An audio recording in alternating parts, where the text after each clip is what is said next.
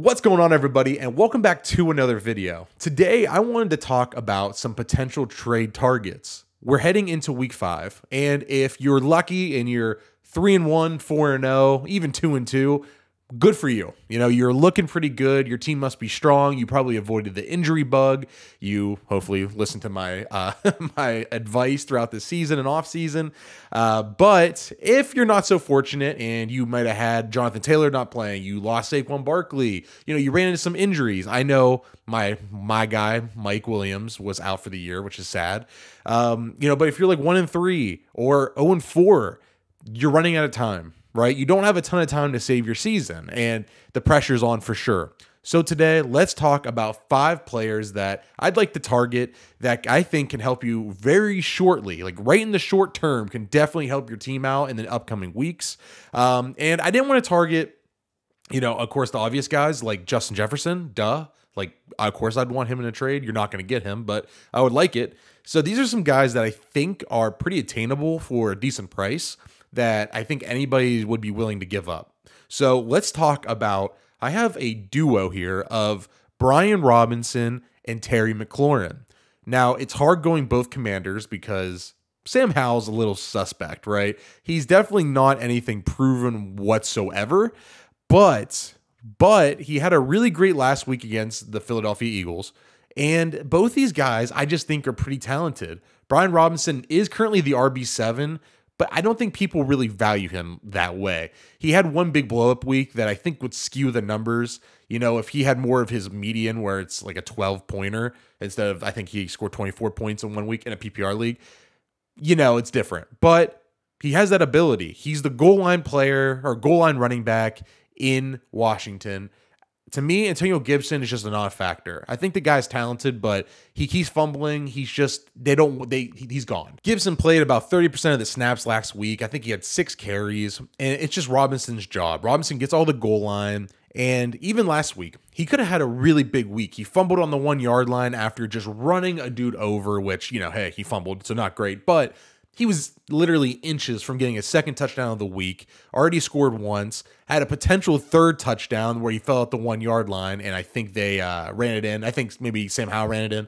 So he could have had three touchdowns on Sunday, like legitimately. So I think he is a pretty good running back who just has all the opportunity that isn't really getting valued as the RB7 right now. And he has a really great schedule coming up Chicago, Atlanta, the New York Giants. Those teams suck. So I would try to make this trade as soon as possible for Brian Robinson. That way, you don't miss you know the chance when he ends up going off against Chicago and blowing up. We just saw the Broncos had pretty good success on the ground, where you know literally Jaleel McLaughlin, who's from my alma mater, Youngstown State University. I think he had seven carries for 78 yards and a touchdown. Like, you know, they're not great on defense. And then same thing for Terry McLaurin. Right now, he's the wide receiver 28 and he's just not getting valued as anything really relevant. He's good every year. He's going to finish with 1,100 receiving yards and five, six touchdowns. I could pretty much lock it in, guarantee it. He's definitely on pace for it right now. Um, it's the thing is he's just so talented where I think he's just going to give you really big weeks, week in and week out. Nobody likes him. I tried trading him and Miles Sanders in my league like the last week everybody, everybody, no one wanted him. No one wanted a piece of any of that. So I like Terry McLaurin. I think he's super talented, and I think you just saw it. He had an eight for 86 this past game. He did score a touchdown that was kind of fluky where he got one of Brian Robinson's fumble recoveries. That's fluky. But these two guys, I think, are just talented and they're in pretty good situations to get a most of the attempts and targets. So if you need someone who could play right away and is a touchdown threat every week, I think you got your two guys. Next up for me is going to be Ja'Marr Chase, wide receiver 28 in PPR leagues. Terry McLaurin's actually wide receiver 27. Ja'Marr Chase is 28, which is shocking. You know, in his four appearances this year, Chase has finished with 6, 5, 20, and 10 fantasy points in PPR leagues. So he's been very disappointing as your potential number two overall pick. Trade for him.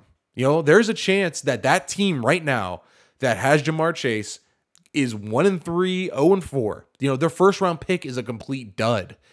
Go after Ja'Marr Chase. I have no doubts that Joe Burrow will become, you know, come back healthy or get healthier over the season and just get back to what him and Chase were doing last year. Chase is too talented not to have big games. And I think you're going to have to give up a decent price for for Chase because of name recognition, but I don't see why he's not attainable. If you're 0 4 or 1 and 3, you can't wait around for Ja'Marr Chase forever. You can't do it.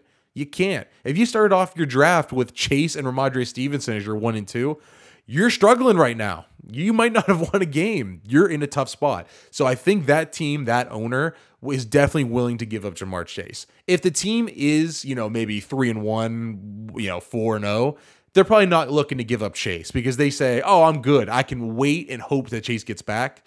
But if the owner in your league is struggling right now and really needs some pieces, I think you could definitely, you know, do ponies for a horse. You could do two little pieces for one big Ja'Marr Chase asset.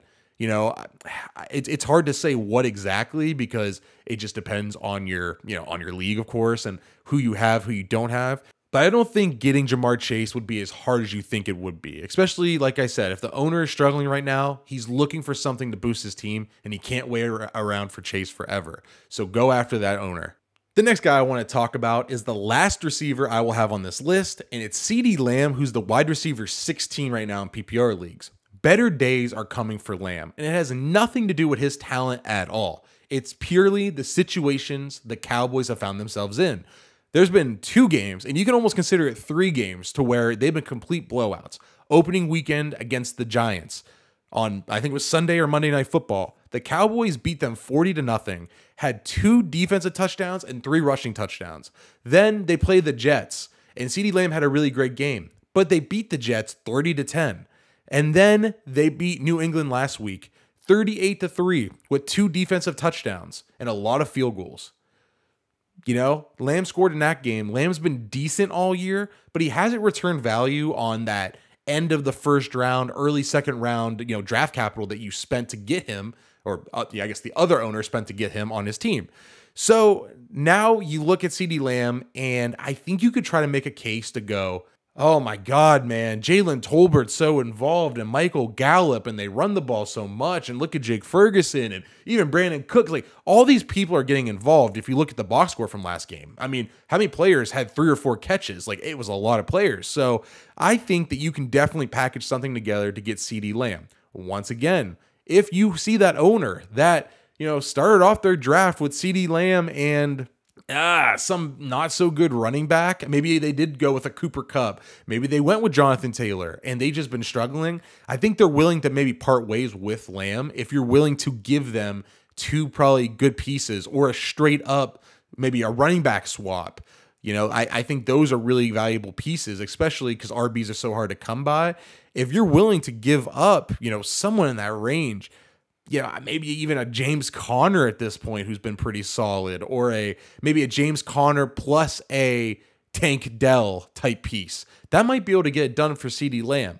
Of course, that's kind of low on the spectrum of the CeeDee Lamb you know, I guess value because Lamb is such a household name. But start there. Don't start at the top. Start there and see what the owner likes. You know, you could have a dumb owner, you could have a smart owner. You know, it just depends on your league. So if you're in a really competitive league, the CeeDee Lamb owner might not be willing to bite. But if you're in a not so competitive league, maybe he'll go, ah, CeeDee Lamb sucks. I hate Dak Prescott. Let me move on. And the last player that I want to talk about is a running back, and it's Travis Etienne as the RB18. He right now, Travis Etienne is a little bit underperforming. He's gotten a lot of attempts as he's fourth in the NFL in rushing attempts. He's top 10 in the NFL in targets. It's just he's not scoring touchdowns. He has one rushing touchdown and he's been a little ineffective when it comes to you know, yards per carry. I believe he's averaging 3.8. So not a great start for Etienne, but I think that that team is try- uh, still trying to figure it out they haven't been that smooth on offense like they were last year. It seems like getting Calvin Ridley is I don't know. They don't they haven't meshed well. It seems like they want to take deep shots, but then they check it down and there's no middle.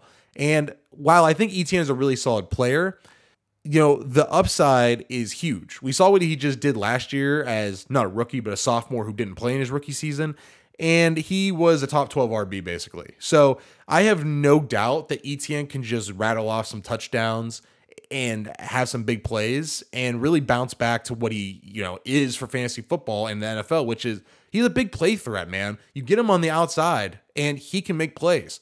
We haven't seen too much of it this year where I believe his longest gain was only 28 yards. I expect that to change. You know, Etienne is too explosive of a player not to break off some big runs. And I would like to do this before he plays some decent or not so decent teams. I mean, Buffalo, who's really good, of course. But I think Etienne can feast in that game. We just saw Miami have Raheem Mostert and uh, De'Von uh, Achane go off. That and then uh, Jacksonville plays Indianapolis. And not to mention, too, Jacksonville plays in probably the worst division. I know they're still two and two, everybody is, but I don't think the Texans defense is really all that scary. Indy's defense isn't that scary to me. I just I'm I'm cool with that division. So I think better days are ahead for Travis Etienne, who's the RB 18 right now. I think that can go way up, and I would try to get him ASAP before he has some juicy matchups coming up in the next few weeks. All right, and those were my five trade targets for week five. If you like the video, leave a like down below and subscribe to the channel for more content. I'm hoping to have more film studies coming out. I just want to like find a player that I really want to talk about and evaluate their film over the first, you know, couple games of the season. So stick around, stay tuned for that. And next week I'll be coming back with a waiver wire video and maybe even another trade target video, just depending. Alrighty, I'll see you guys next time. Thanks for watching.